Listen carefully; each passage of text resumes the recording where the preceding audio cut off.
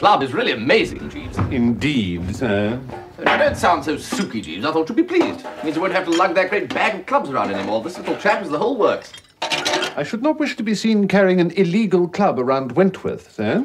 There's nothing in the rules of golf says one can't have an adjustable iron. You see, I just press this button here. Click, it's a niblick. Click, click, it's a mashy niblick. Click, click, click, it's a mid-mashy. Click, click, click, click. Yes, thank you, sir. Most ingenious. All the way up to click. Rule number 14.3, sir, states that no player shall use any artificial device or unusual equipment. The Rules Committee of the Royal and Ancient are... The Rules Committee of the Royal and Ancient are yesterday's men, Jeeves. They simply have to face up to the modern world. If you say so, sir.